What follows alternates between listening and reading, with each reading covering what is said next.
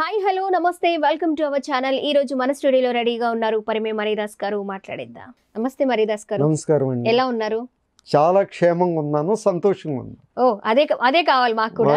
మరి ఈ రోజు దేని గురించి మాట్లాడబోతున్నారు? ఇరవై ఐదు సంవత్సరాలకి. చాలా మందికి షుగర్ అనేది వచ్చేసిందండి. ఓకే.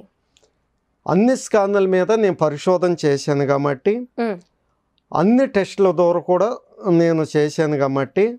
మరి ఈ షుగర్ వ్యాధి వల్ల షుగర్ వచ్చినాక మూడు సంవత్సరాలకి. ఏ వయసు అయిన వారికి కానీ మూడు సం- సంవత్సరాలకే అంగస్థాపన అనేది తగ్గిపోతుంది. ఇది మెయిన్ పాయింట్ లేదు కొంతమందికి అయితే ఐదు సంవత్సరాలకైనా అంగస్థాపన ఆగిపోతుంది. దీంట్లో ఎలాంటి సందేహం లేదు. దీనికి కారణం ఏంటంటే తీసుకోవలసిన భోజనం తీసుకోవట్లేదు తీసుకోవలసిన పండ్లు కూడా తీసుకోవట్లేదు. ఆధునిక వైద్య శాస్త్రం ఏం చెప్తుందంటే ఈ రైస్ ఎక్కువ తినకూడదు ఈ ఫ్రూట్స్ తీసుకోకూడదు అనే విధానంతో చెప్తున్నారు. కానీ నా దగ్గర పెద్ద లిస్ట్ ఉంది. నేను ఎప్పుడన్నా నేను ప్రత్యేకంగా నేనే కెమెరా పెట్టుకుని ఒక గంట చెప్పేసుకుంటే నా జీవిత చరిత్ర అంతా దాంట్లో ఉంటదేమో మరి. ఇక్కడైతే నాకు పది నిమిషాల వరకు సమయం ఉంటుంది కాబట్టి నేను చెప్పగలుగుతాను.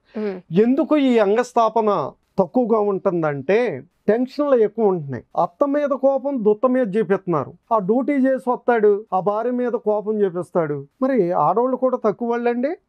మగోడు జరిపోతో సమానం. అంటే మా అంటే ఒక రకంగా చెప్పాలి వస్తే జరిపోతే చాలా బారుగా ఉంటుంది. పిరికిది ఓకే నాగుబాము మ్. పడగిప్పుద్ది. మామూలుగా ఉండదు. ఇది జరుగుడు కూడా కొంచెం ఇప్పిద్ది కానీ. ఆ పడగ వేరే నాగుబాము పడగ వేరే అందువల్ల ఏంటంటే స్త్రీ అంటే ఒక ఆడపిల్ల తిరుగుబాటు చేస్తే మగోడు ఏం చేయలేడమ్మా. దీంట్లో ఎలాంటి సందేహం లేదు అందుకే తూర్పు తూర్పుని సూర్యుడు ఉదయించినాక అస్తమయ్యాక. గొడవలు అనేది భార్య భర్తల్లో ఉండకూడదు.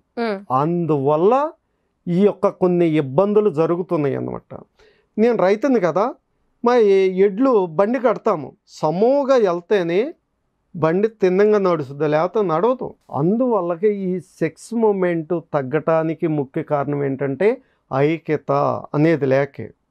నందంటే పంది పంది అంటే నంది అని విధానంలో కలిగి ఉంటున్నారు కాబట్టి సెక్స్ మూమెంట్ వయసులో చాలామంది పాడు చేసుకుంటున్నారు. ఈ సెక్స్ మూమెంట్ను బలంగా పనిచేయాలంటే అంగస్థాపన గట్టిగా ఉండాలంటే.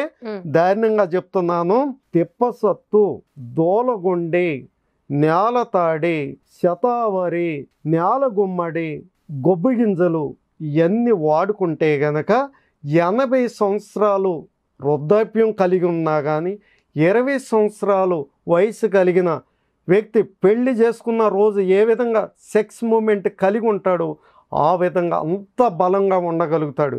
ఈ ఈ వస్తువులన్నీ వాడుకుంటే ఇప్పుడు మీరు ఎడ్డింగ్ పెట్టుకోండి.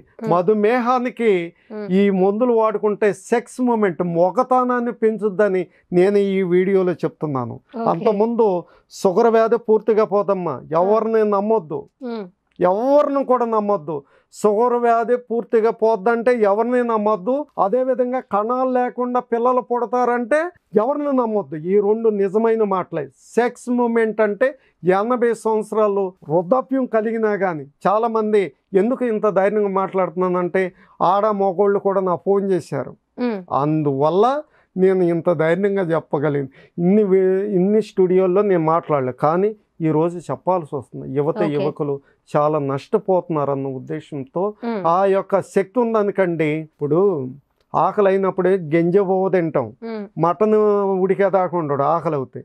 అదే విధంగా సంతోషం ఆనందం మరి పొందాలని ఈ స్టూడియోలో ఇంత గొప్ప వైద్య శాస్త్రాన్ని నేను వివరించి చెప్పడం జరిగింది ఎవరు కూడా షుగర్ ఉన్న వాళ్ళు అంగస్థాపన తగ్గుద్దనే భయం లేదు మీరు తిప్పసత్తు ఉంటే తయా తిప్పసత్తు తయారు చేసుకోండి. మీకు అనుకూలంగా దూలగుండి గింజలు మీకు ఓపుకుంటే నా ఆరింటికే నూరేగిపోద్ది అయినా కానీ తెచ్చుకోగలిగితే తెచ్చుకోండి లేదు మమ్మల్ని సంప్రదించండి. నేను డబ్బు. కోసం నేను చేయట్లేదు. నేను. కూడా ఎన్నో నా యొక్క ఆర్థిక పరిస్థితి ఎనిమిది లక్షల అప్పులు ఉన్నా కానీ నేను కట్టేసుకుని ఐదు లక్షల అప్పులో ఉండను. నేను ధైర్యంగా బ్రతుకుతున్నాను.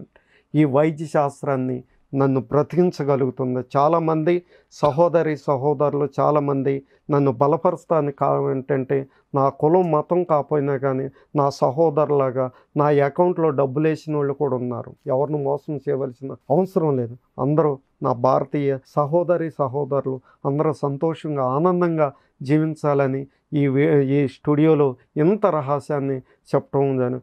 ఒక భారతదేశంలో వన్ పాయింట్ ఆయుర్వేదాన్ని అధ్యయనం చేసిన వాళ్ళే కానీ అభిమానులు కానీ ఉన్నా కానీ మంచి ఉన్నతమైన స్థితిలో నేను ఉండగలుగుతాను. మోసం మోసకరమైన విధానం క్షీణించిపోద్దు. నేను ఎవరికి భయపడవలసిన అవసరం లేదని ఈ స్టూడియోలో చెప్తున్నాను. ఓకే మరి గారు. థ్యాంక్ యూ సో మచ్ అండి. చాలా మంచి విషయాన్ని షేర్ చేసుకున్నారు.